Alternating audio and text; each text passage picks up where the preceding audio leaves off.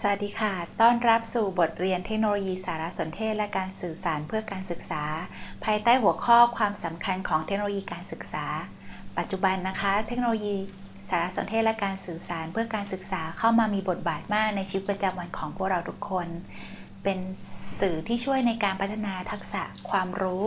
ความสามารถต่างๆ มากมาย จึงจำเป็นมากที่ทุกเพศทุกวัยจะเข้าใจและเรียนรู้สิ่งเหล่านี้นะคะ ดังนั้นในบทเรียนในครั้งนี้นะคะ จึงมุ่งหมายว่าผู้เรียนจะได้ทราบถึง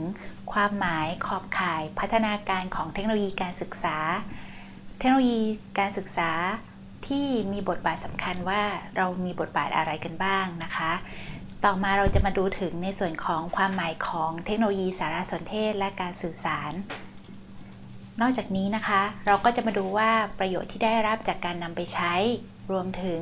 ความสำคัญที่เทคโนโลยีการศึกษาเข้ามามีบทบาทสำคัญสำหรับทุกๆคนมีอะไรกันบ้าง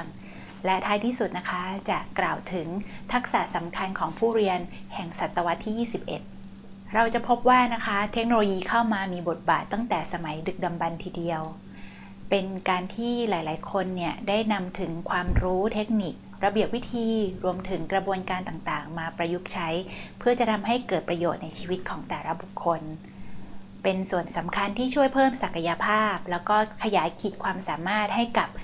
การทำงาน การดำรงชีวิตให้มีประสิทธิภาพที่ดีเพิ่มมากขึ้น ถ้าเราจะดูนะคะในส่วนของเทคโนโลยีเราจะพบว่า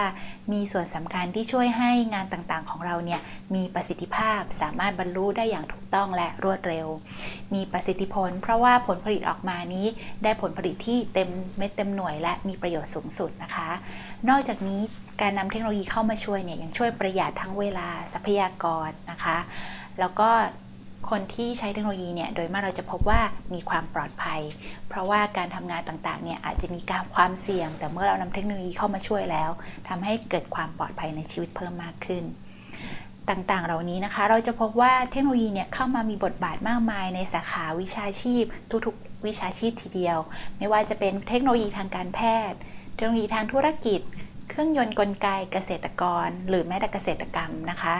และการสื่อสารแล้วก็รวมถึงปัจจุบันที่เรากำลังจะเข้าสู่หัวข้อของเราค่ะ เทคโนโลยีสำหรับการศึกษานั่นเองนะคะ เราจะมาดูกันต่อนะคะ ในส่วนของความหมายเทคโนโลยีการศึกษา มีผู้ที่ได้ให้นิยามคำศัพท์คำนี้ไว้มากมายทีเดียวนะคะ หนึ่งในที่นี้จะขอคัดมาดังนี้ค่ะ เทคโนโลยีการศึกษาหมายถึงการประยุกต์เอาเทคโนโลยีด้านต่างๆ ไม่ว่าจะเป็นทางความคิด ทางอุปกรณ์และสื่อต่างๆเนี่ยอันสืบเนื่องมาจากเทคโนโลยีมาใช้ในวงการการศึกษานั่นเอง ความหมายของเทคโนโลยีการศึกษา เดิมทีเดียวศาสตร์นี้เรียกกันว่าการใช้โสตทัศน์ หรือเรียกว่าโสตทัศนศึกษา audio visual education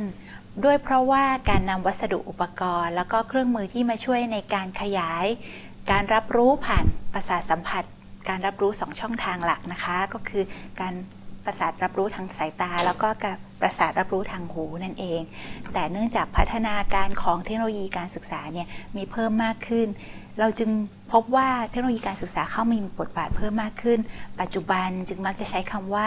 educational technology หรือเทคโนโลยีการศึกษา และบางครั้งเราก็ยังเรียกใช้คำว่าเทคโนโลยีการสอน instructional technology นะคะ พื่อที่จะใช้ถึงความหมายที่ครอบคลุมเพิ่มมากขึ้น คือการนำเทคโนโลยีไม่ว่าจะเป็นโสตวัสดุอุปกรณ์ หรือเครื่องมือต่างๆ มาใช้ในวงการการศึกษานั่นเอง นอกจากนี้นะคะทางสมาคมเทคโนโลยี และสื่อสารการศึกษาแห่งประเทศสหรัฐอเมริกา หรือว่า Association Educational Communication Technology หรือที่เรามาจะเรียกกันย่อๆว่าสมาคม AECT นะคะ ได้ให้ความหมายว่าจริงๆ แล้วเนี่ย เทคโนโลยีการศึกษา เป็นทฤษฎีและการปฏิบัติของการออกแบบ การพัฒนา การใช้ การจัดการและการประเมินของกระบวนการและทรัพยากรต่างๆสำหรับการเรียนรู้ของผู้เรียน